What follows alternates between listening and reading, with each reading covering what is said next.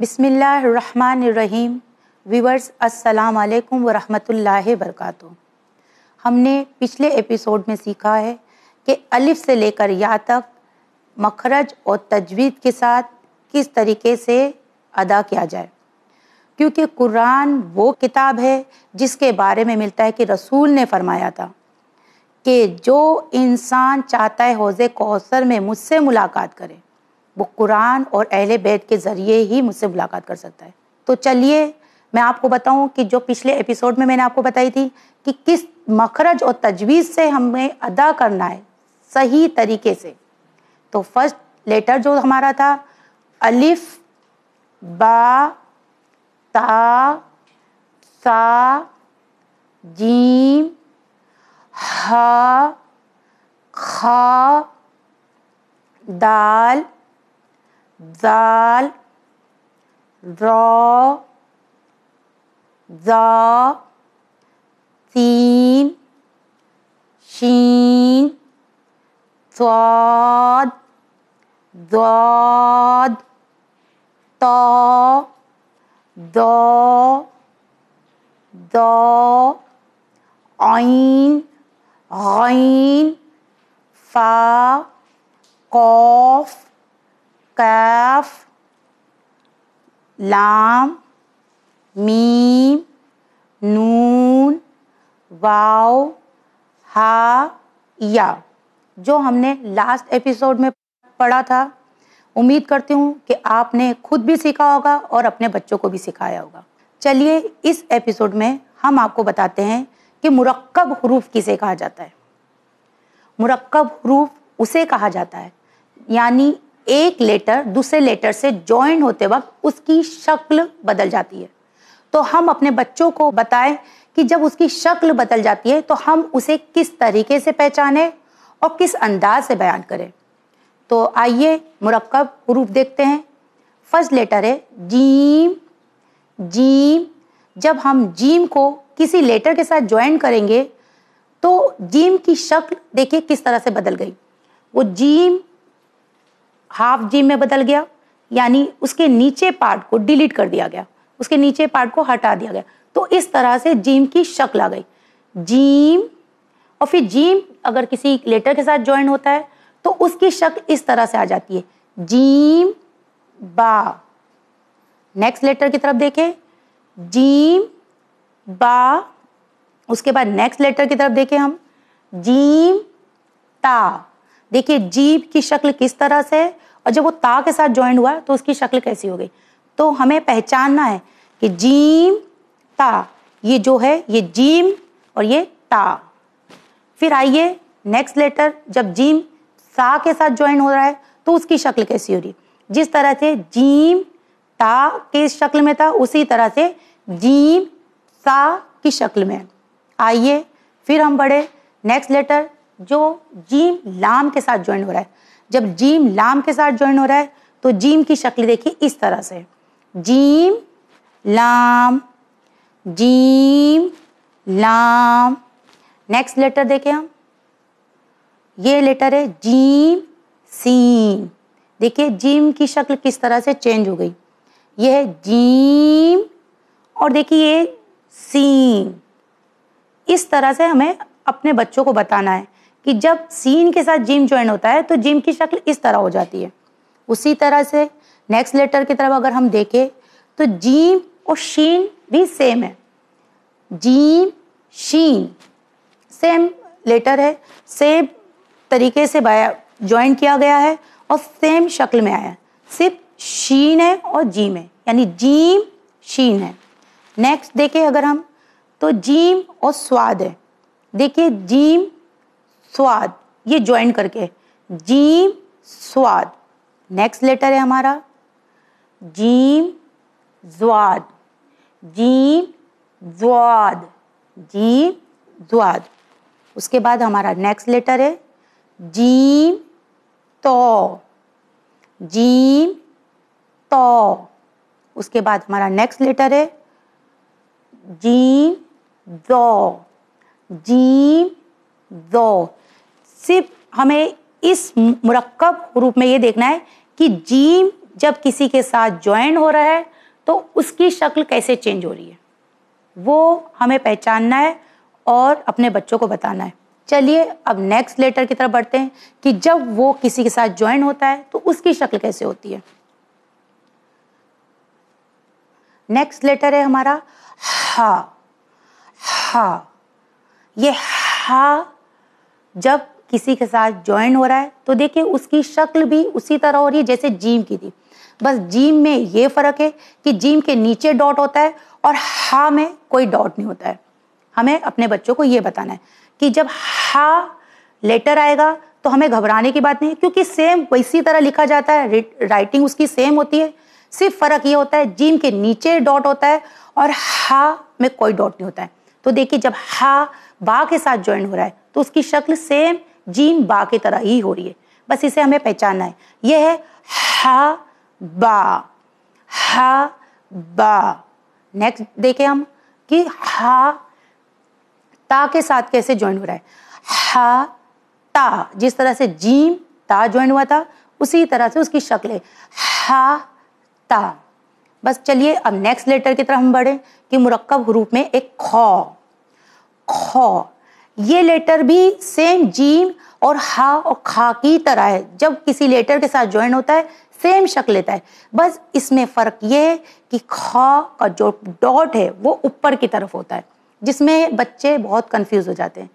Gym का dot नीचे होता है खो का डॉट ऊपर होता है। हम अपने बच्चों को इस तरह से भी समझा सकते हैं कि खो हेड के ऊपर जैसे डॉट होता है, यानी जिसके हेड के ऊपर डॉट होता है, उस लेटर को क्या कहते हैं? तो बच्चे जल्दी से उसे पिकअप कर लेते हैं और याद भी कर लेते हैं। उसे खो कहा जाता है।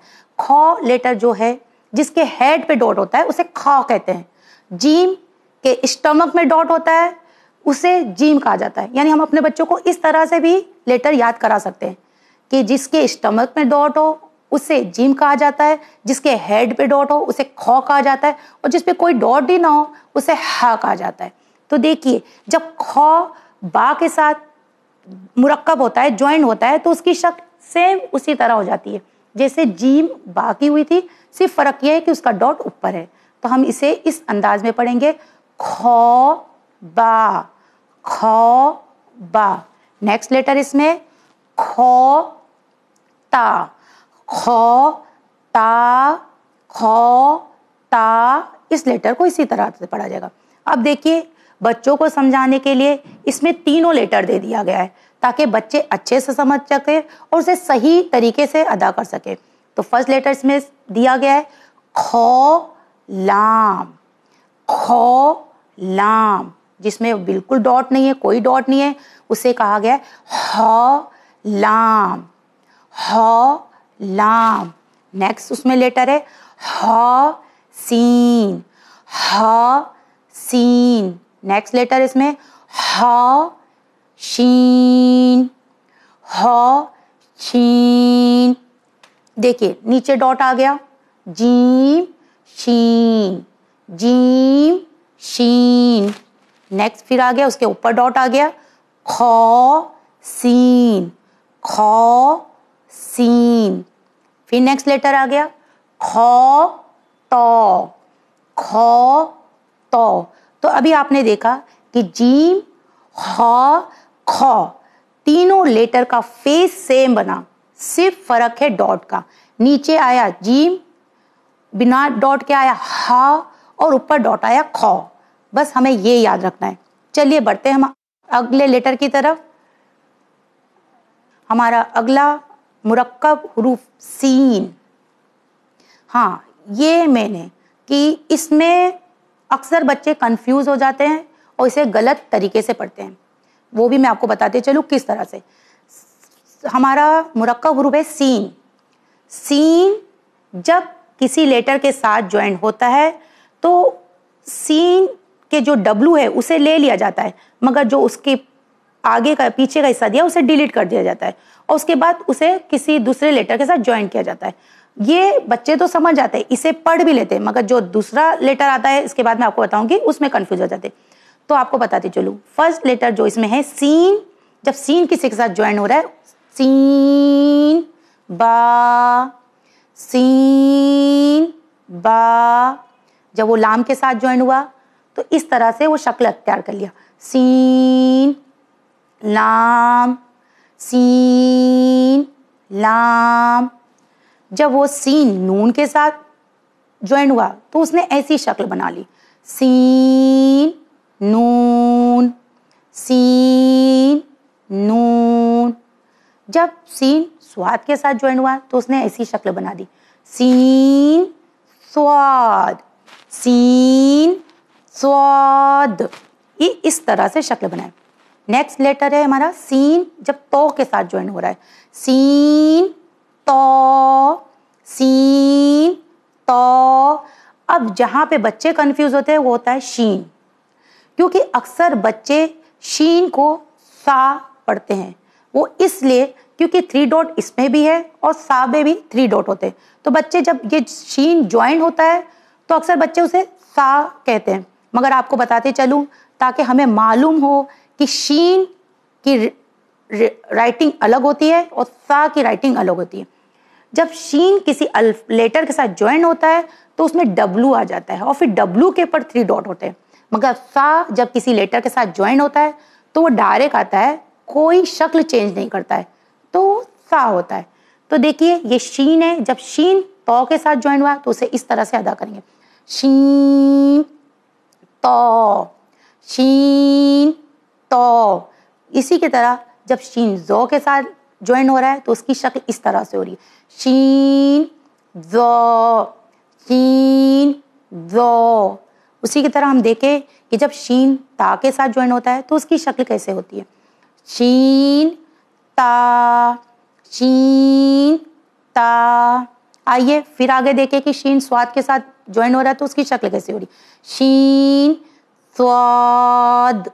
शीन स्वाद उसी तरह से। जब शीन ज्वाद के साथ ज्वाइन होता है तो उसकी शक्ल भी वैसी होती है।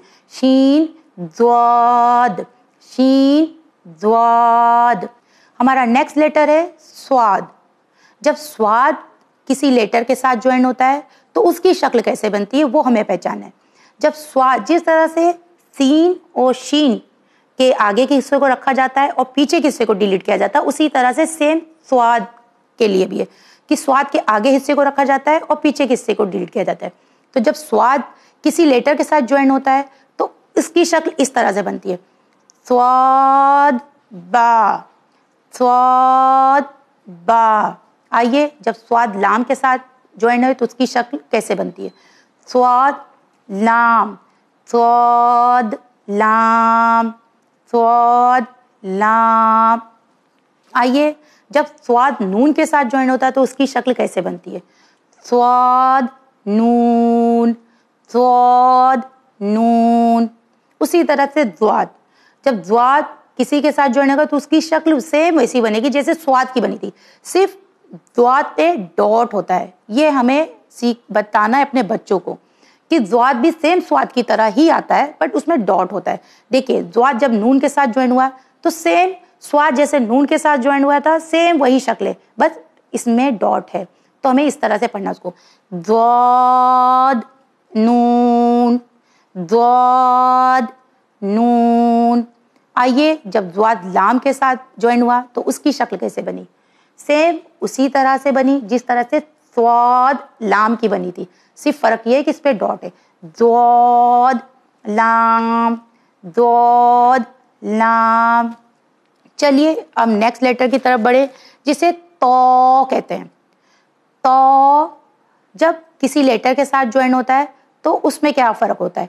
उसमें कोई चेंजिंग नहीं आती, वो सेम शक्ल लिया रहता है, वो अपने साथ किसी लेटर को ज्वाइन कर लेता है। जैसे तो नून को ज्वाइन किया। तो में कोई चेंजिंग नहीं आई। तो सेम वही लेटर की तरह लिखा हुआ है बट उसने नून को ज्वाइन कर लिया। तो इसे एकदम आसानी से पढ़ा जाता है।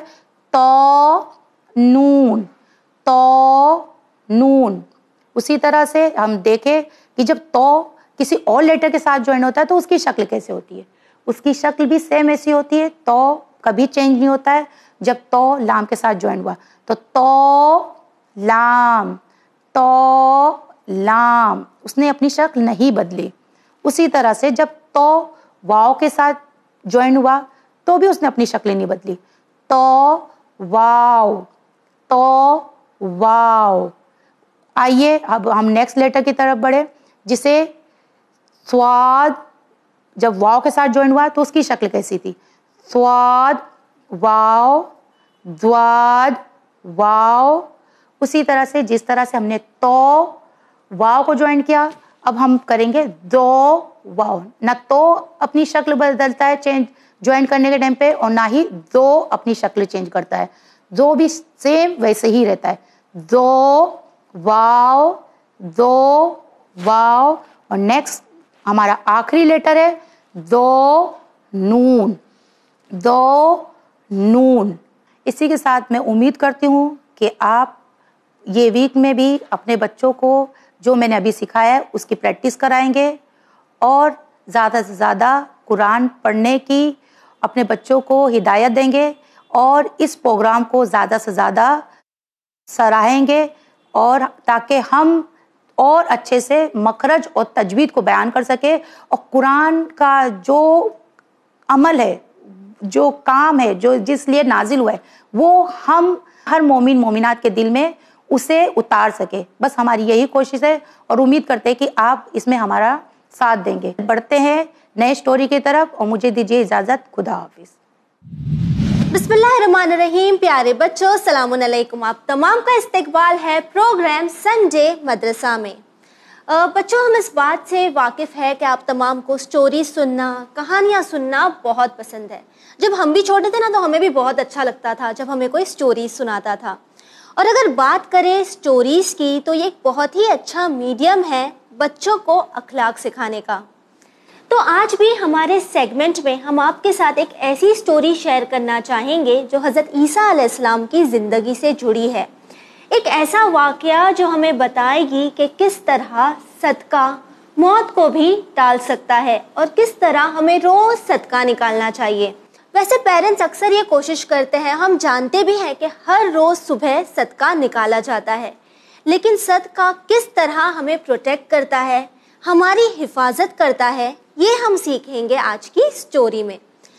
व्यूवर्स आपको पता है कि हज़रत ईसा आसमाम एक बार अपने हवारियों के साथ, यानी अपने कंपेनियंस के साथ एक जगह से गुजर रहे थे। जा रहे थे फिर उन्होंने देखा कि एक घर में से बहुत ही अच्छी आवाज़ें आ रही हैं। लोग खुशी खुशी बात कर रहे हैं, खुशी से एक दूसरे से मिल रहे हैं। मानो के जश्न का माहौल है। फिर हज़रत ईसा आसमाम ने अपने कंपेनियन से, अपने हवारियों से कहा कि आप लोग जानते हैं कि आज इस घर में जश्न का माहौल है। लोग खुशियाँ मना रहे हैं। लेकिन कल यहीं पर गम होगा। जैसे ही हज़रत ईसा ने ये कहा तो उनके जो कंपेनियंस थे, साथी थे, उन्होंने सवाल किया कि ए नबी खुदा, ऐसा क्यों? आज यहाँ खुशियाँ हैं, लोग खुश हैं, इस घर में शादी है। तो क्यों कल यहीं पे गम का माहौल होगा? तो हज़रत ईसा ने फरमाया क्योंकि कल इस घर में यहाँ की दुल्हन की मौत वाक़ हो जाएगी? और फिर रात इसी तरह गुजरने लगी। लेकिन जब सुबह नबुदार हुई, सुबह हुई तो वहाँ पे वही खुशी का माहौल था, लोग खुश थे, जश्न का माहौल था। तो उनके जो कंपेनियंस थे, साथी थे, उन्होंने हज़रत ईसा आसमाम से सवाल किया कि, ए नबी, खुदा, इस बात में कोई शक नहीं कि आप जो कहेंगे वो बरहक है, हम आपकी बात मानते हैं। लेकिन आज हम यहाँ देख सकते हैं कि इस घर में अब भी खुशी का ही माहौल है। तो हज़रत ईसा आसमाम उस घर पर गए। हज़रत ईसा आसमाम ने उस दरवाज़े पर दक्कुल बाप किया, यानि दरवाज़े को नॉक किया।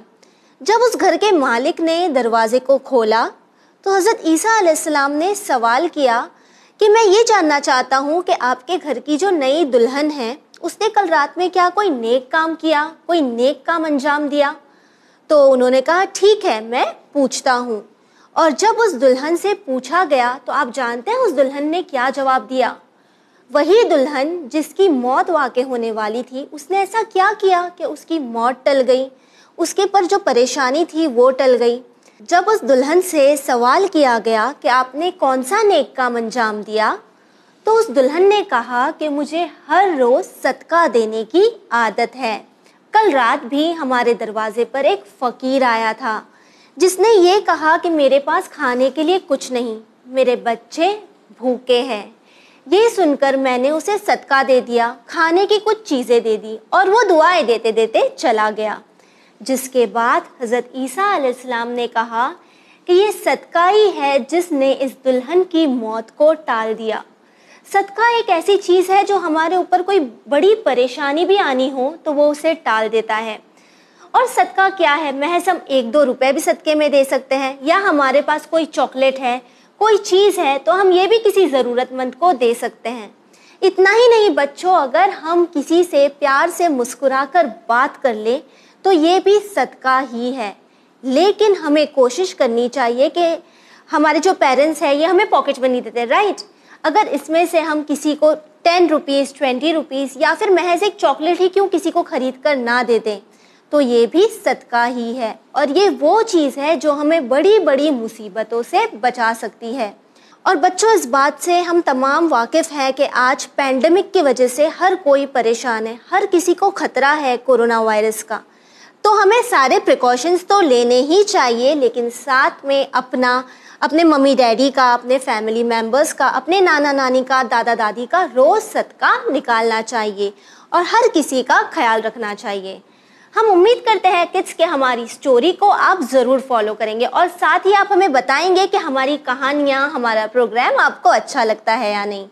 तो आइए अब देखते हैं कि सिस्टर फातिमा, आप प्यारे बच्चों के लिए क्या लेकर आई हैं। अस्सलाम वालेकुम ब्यूटीफुल किड्स मुझे उम्मीद है कि आप लोग संडे मदरसा बहुत शौक से देखते हैं और जो कुछ मैं बताती हूँ उसे याद रखते हैं। वैसे मुझे ये भी यकीन है कि मेरे जो नन्हे मुन्ने व्यूवर्स हैं, वो बहुत ही स्मार्ट हैं और इन्हें जो भी बताया जाए, याद रहता है। क्योंकि जैसे कि मौला इस्लाम फरमाते हैं कि बचपन में जो चीज़ हम सीखते हैं, वो इस तरह है जैसे पत्थर पर लिख देना, यानी वो हमेशा के लिए नक्श हो जाता है। और बड़े होकर जो हम चीज़ें सीखते हैं, वो ऐसा है जैसे कि हमने पानी से पानी पर लिख दिया हो। वो बहुत ही आसानी से हम भूल जाते हैं। तो इस एज में आप जो कुछ भी सीखते हैं, आपको वो हमेशा के लिए याद रहता है। तो मैं आपसे ये उम्मीद कर रही हूँ कि आप लोग ध्यान से सुनते हैं और याद रखते हैं। चलिए क्विक रिवीजन करते हैं। जब मैं ये बोलूँ, आप लोग मेरे साथ रिपीट करिए। अव्वल तोहीद, दूसरे अदल, तीसरे नबूवत, चौथे इमामत, पांचवे कयामत। हम तोहीद और अदल कर चुके हैं और आज हम बात करेंगे नबूवत के बारे में। नबूवत यानी प्रॉफिटहुड दो तरह के पैगंबर हमें दीन इस्लाम में मिलते हैं। यानी एक नबी होता है, एक रसूल होता है। नबी का मतलब होता है प्रॉफिट इंग्लिश में, और रसूल का मतलब होता है अपोस्टल जो नबी होता है, वो हमको नबी लफ्ज नबा से मिलता है। जो नबा का मतलब है, वो है एक बहुत बड़ी और बहुत सच्ची खबर। कोई भी आम खबर को हम नबा नहीं कहते हैं। बहुत बड़ी और सच्ची खबर को नबा कहते हैं। अल्लाह की तरफ़ से हम तक ये नबी खबर पहुंचाते हैं। और जो रसूल होता है, वो रिसालत से बना है, यानी अल्लाह की तरफ़ से भेजा हुआ। अब मैं आपको दोनों में फ़र्क बता दूँ। जो नबी होता है, यानी हर नबी रसूल नहीं होता, लेकिन हर रसूल नबी होता है। रसालत जो है, या रसूल जो है, वो एक अहदा है। जैसे हम मानते हैं कि हर नबी पैदाइशी नबी होता है, लेकिन वो रसूल नहीं होता जब तक वो उस अहदे का ऐलान ना करे। जैसे रसूल खुदा सल्लल्लाहु अलैहि वसल्लम पैदाइशी नबी थे, लेकिन उन्होंने अपनी रिसालत का ऐलान 40 साल की उम्र में किया। अब इन दोनों में एक बहुत ही छोटा सा फ़र्क है। जो नबी है, ये नई शरीयत नहीं लाते हैं, ये सिर्फ़ खबर लाते हैं। और जो रसूल है, ये नई शरीयत यानी कोड ऑफ़ कंडक्ट लेकर आते हैं। और उसके जो नबी होते हैं, वो पहले वाले रसूल की शरीयत फॉलो करते हैं। अब जैसे हमें कुरान में एक लाख चौबीस हज़ार नबियों में से पच्चीस नबियों का ज़िक्र मिलता है, जिसमें से पाँच बड़े उलुल अज़्म रसूल हमें मिलते हैं। क्या आप में से किसी को पता है कि वो कौन है? मैं आपको हेल्प करती हूँ। हमारे पाँच उलुल अज़्म नबी हैं, या हमारे पाँच उलुल अज़्म रसूल हैं, जनाबे नू सलाम, जनाबे इब्राहिम सलाम, जनाब मूसा, जनाब ईसा सलाम, और जनाब रसूल खुदा मोहम्मद मुस्तफ़ा सल्लल्लाहु अलैहि वसल्लम। अब मैं आप में इसमें फ़र्क बता दूँ। इनके बीच में भी कई नबी गुजरे, लेकिन ये नबी शरीयत लेकर आए। जैसे जनाब नू शरीयत लेकर आए, उनकी शरीयत जनाब इब्राहिम तक फॉलो की गई, कोई चेंजेस नहीं थे। जनाब इब्राहिम की शरीयत, जनाब मूसा तक, जनाब मूसा की शरीयत, जनाब ईसा तक, और जनाब ईसा की शरीयत रसूल खुदा सल्लल्लाहु अलैहि वसल्लम तक फॉलो की गई। और आज जो हम शरीयत मानते हैं, वो हम रसूल खुदा सल्लल्लाहु अलैहि वसल्लम की शरीयत पर अमल करते हैं। और ता कयामत यही शरीयत बाकी रहेगी, क्योंकि वो हमारे आखिरी नबी रसूल खुदा सल्लल्लाहु अलैहि वसल्लम थे। चलिए मैं आपको नबी की जिम्मेदारियों के बारे में बता दूँ। जो नबी होता है, उसकी कुछ बेसिक रिस्पॉन्सिबिलिटीज होती हैं।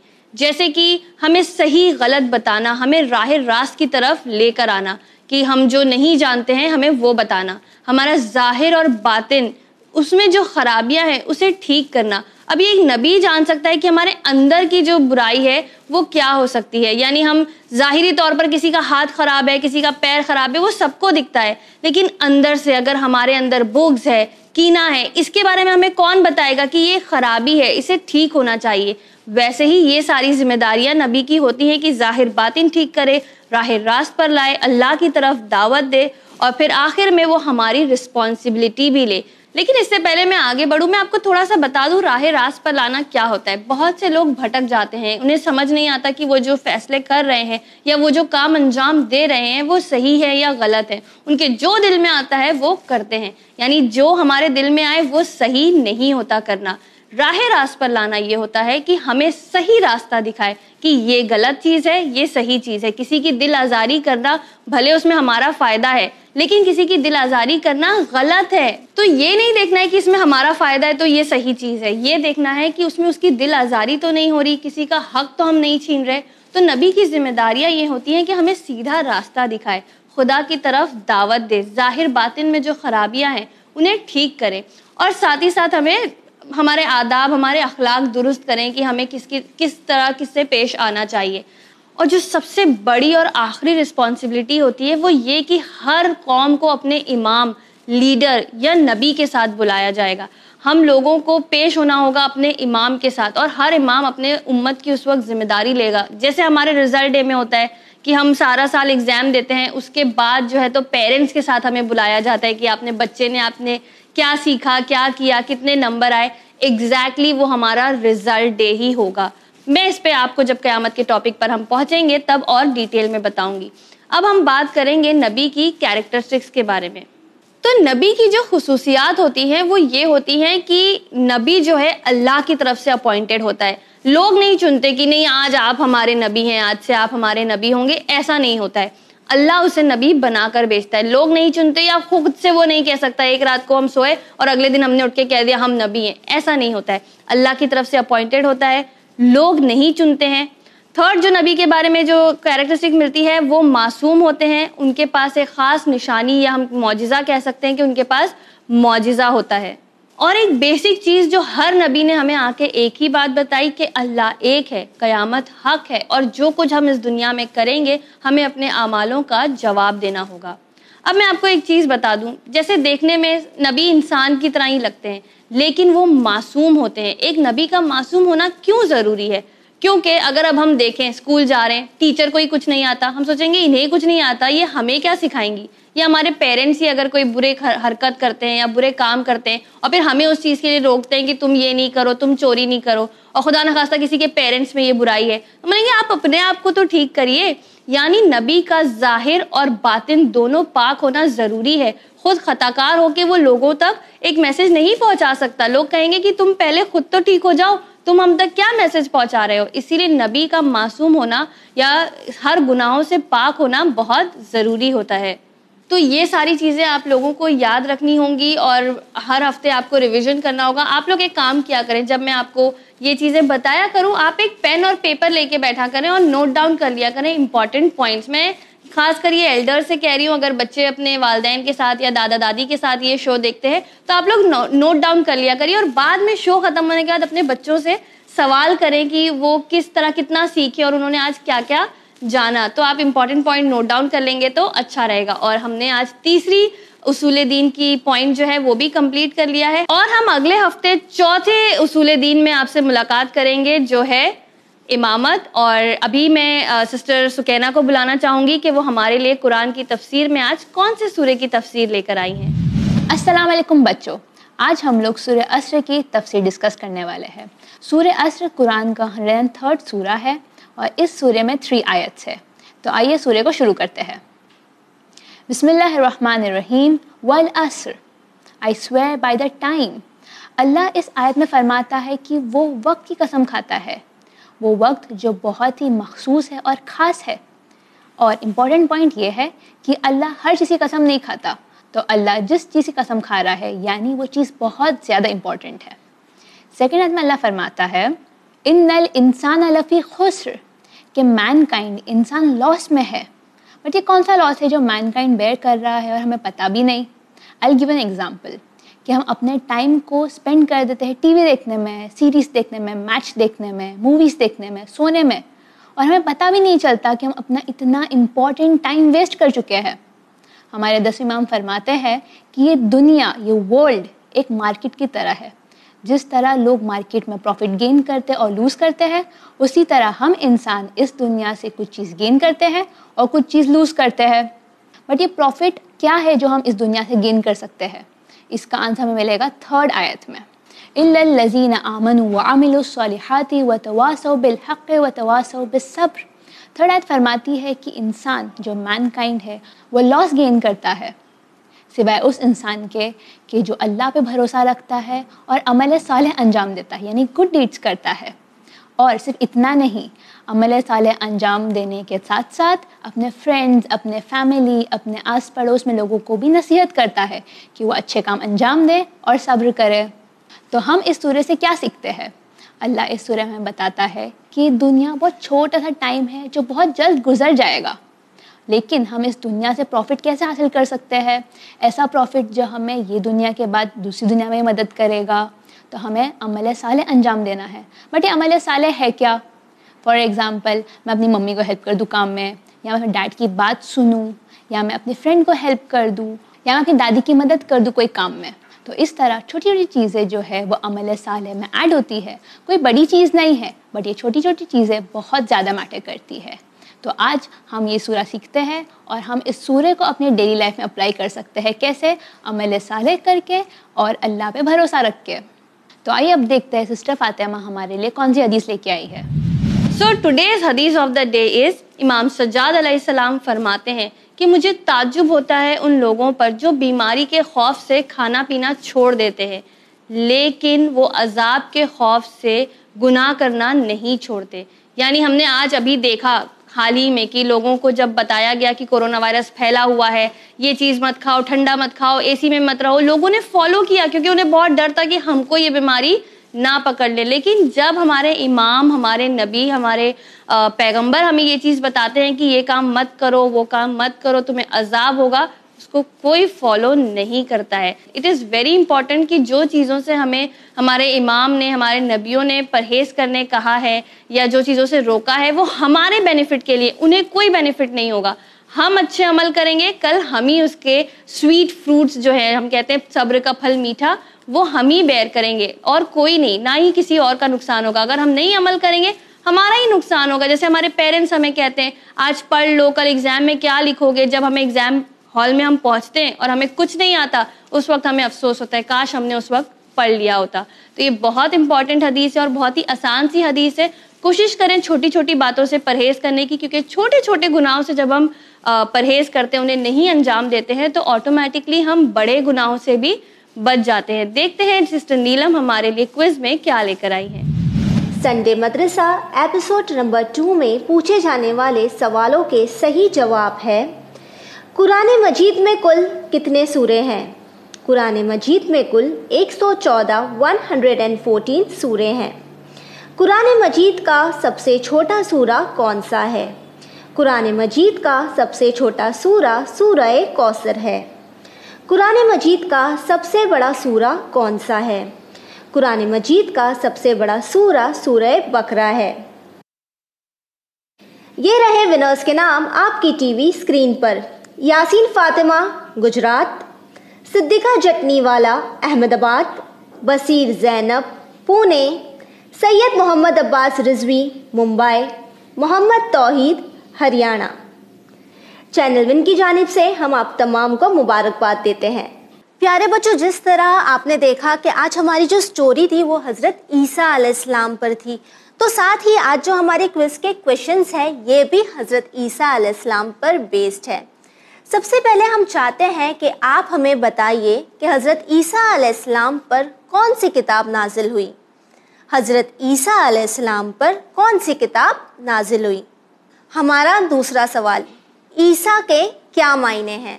हज़रत ईसा का जो नाम है तो ईसा के क्या मायने हैं? हमारा तीसरा सवाल, हज़रत ईसा की वालदा का क्या नाम है? हमारा तीसरा सवाल हज़रत ईसा की वालदा का क्या नाम है? बच्चों, जिस तरह आज के हमारे एपिसोड में हमने बात की हज़रत ईसा के बारे में तो बच्चों, हम आपको ये बताना चाहेंगे, जनाब आदम अलैहिस्सलाम और बीबी हवा सलामुल्लाह के बाद हज़रत ईसा वाहिद ऐसे नबी है जिनके कोई वालद नहीं है। इनकी पैदाइश हुक्म इलाही से हुई है। तो हम उम्मीद करते हैं कि हमने जो तीन सवाल आपके साथ शेयर किए, आप इनके जवाब हमें व्हाट्सएप ज़रूर करेंगे। हमारी व्हाट्सएप डिटेल्स आपकी टीवी स्क्रीन पर मौजूद है। साथ ही हमारा प्रोग्राम संडे मदरसा आपको कैसा लगा, ये भी आप हमें लिखकर ज़रूर भेजें। जी हाँ व्यूवर्स एक बात को ज़रूर याद रखिएगा। आप चैनल विन को यूट्यूब पर भी देख सकते हैं। तो YouTube पर चैनल विन को लाइक कीजिए सब्सक्राइब कीजिए। इसी के साथ हमें दीजिए इजाज़त पर बने रहिए चैनल विन के साथ। पैगाम इंसानियत, शुक्रिया।